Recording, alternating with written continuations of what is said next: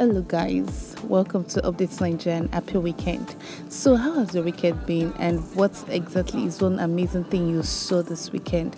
Let me give you one hint Wizkid got a new grill. Yes, it is not just newsworthy because he got a new grill or because he is Wizkid, but it's newsworthy. It is newsworthy because of the beauty of this new grill. Like while it was showing off the seats or this new set of diamond or drill on his teeth in his mouth. It was given this carefully crafted, thoughtfully crafted, and it is speaking on money, luxury, and class exactly because of how nice and neat and amazing it tends to be. Well, um, this is not the first time he's getting a grill, but this is the first time I am seeing a grill as nice, neat, and classy as that. You know, not so shiny, not so dull, just there and uh, how do I describe this?